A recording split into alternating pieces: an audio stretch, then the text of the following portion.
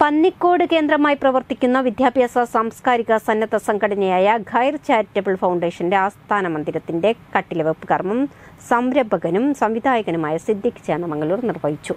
ഖൈർ foundation chairman Majeed പുളിക്കലിന്റെ അധ്യക്ഷതയിൽ നടന്ന ചടങ്ങിൽ P C Abdurahman convener professor P K Shabeeb executive അംഗങ്ങളായ Hussain Puraikkandi Basheer Palatt Shameem P K Majeed Parappurath N Muhammad എന്നിവർ സംബന്ധിച്ചു വിദ്യാഭ്യാസ പ്രോത്സാഹന പദ്ധതികൾ സൗജന്യ പഠന ക്ലാസുകൾ നിർധന കുടുംബങ്ങൾക്കുള്ള ഭക്ഷ്യക്കിറ്റ് വിതരണം രോഗി പരിചരണം ഉപകരണങ്ങളുടെ വിതരണം തുടങ്ങി അതിവിപുലമായ സാമൂഹ്യക്ഷേമ പദ്ധതികൾ ലക്ഷ്യമാക്കിയാണ് ഖൈർ ചാരിറ്റബിൾ ഫൗണ്ടേഷൻ സ്ഥാപിച്ചതെന്ന് ഭാരവാഹികൾ അറിയിച്ചു.